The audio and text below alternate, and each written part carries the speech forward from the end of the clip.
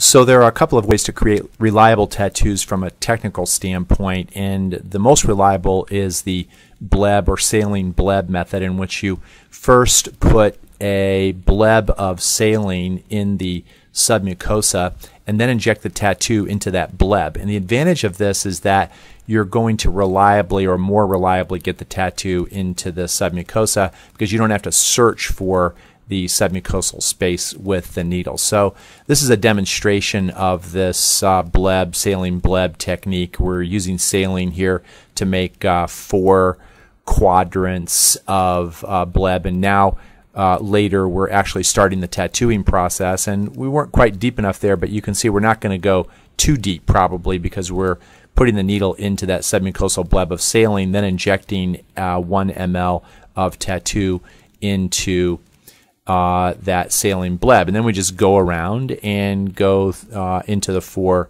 uh, blebs and put an ml of tattoo in there. So this is the the bleb technique, or that's what I call this uh, this technique. And really, it's the most reliable for getting the tattoo into the submucosal space, which of course is uh, is our goal.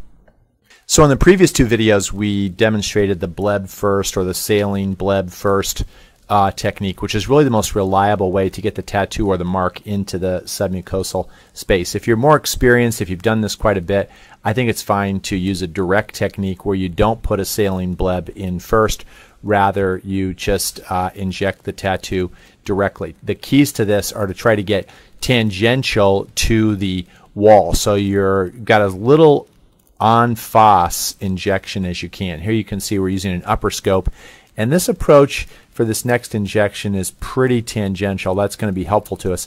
So we're going to poke and get into the submucosal space. Then once we do that, we want to pull back on the needle and bend the needle toward the lumen, hopefully seeing the shape of the needle in the submucosa. Then inject initially very slowly to make sure that a bleb forms and then put in a full uh, cc of injection. And we can repeat this four or five times around the tumor, just distal uh, to the site. So we've described two methods here of technique. The first one, really the most uh, reliable one for getting into the submucosa, was the bleb technique, and then this is the direct uh, injection uh, technique. Perhaps for more experienced um, uh, injectors, for more experienced uh, markers.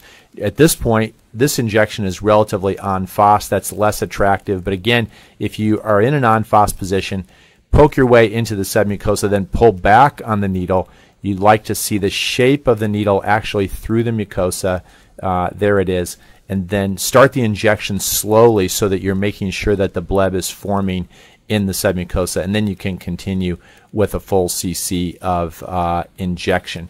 And I think either of these uh, techniques is acceptable, uh, especially with this direct technique, um, having some uh, experience with making sure that the needle is actually in the submucosa is useful before you start doing this. Here you can see the needle's not in quite deep enough, so we'll try poking again. We'd like to see maybe half or more of the needle um, through the mucosa, and then the key thing is to lift up toward the lumen see the shape of the needle, and then make the uh, injection. This is the, the other, the direct technique.